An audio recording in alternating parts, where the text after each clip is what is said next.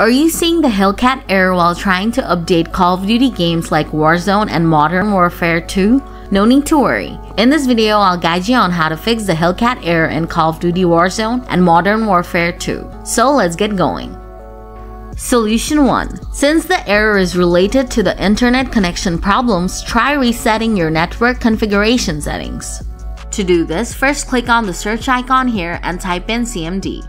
Next, click on Command Prompt and select Run as Administrator and then click on Yes. Now here, type netsh winsock reset and then hit Enter. Then type ipconfig forward slash flush DNS and hit Enter. After that, type in ipconfig forward slash release and hit Enter.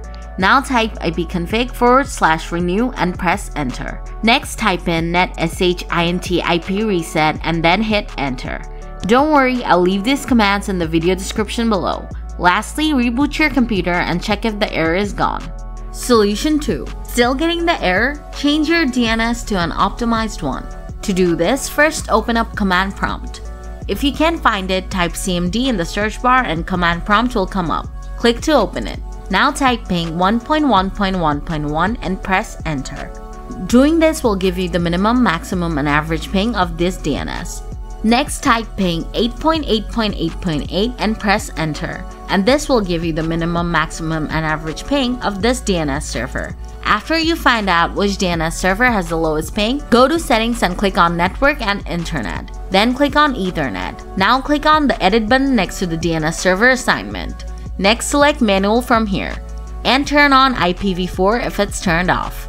Now on the preferred DNS box at the DNS server with the lowest ping. Move on to alternate DNS. Here type 1.0.0.1 if you're using 1.1.1.1 DNS server. But if you're using 8.8.8.8, type 8.8.4.4. Lastly, click Save. Then check if the error is fixed. Solution 3. If the error is still popping up, reset in-game settings. To do this, open up the File Explorer. Then go to the Documents folder. Here you'll find the Call of Duty folder. Open it up and then delete the players folder. After that, the error should be gone. So that's how you fix the Hillcat error in Call of Duty Warzone and Modern Warfare 2. If the video helped you out, show it some love by hitting the like button. And if you're still facing the issue, leave a comment below and I'll get back to you soon. Thanks for watching.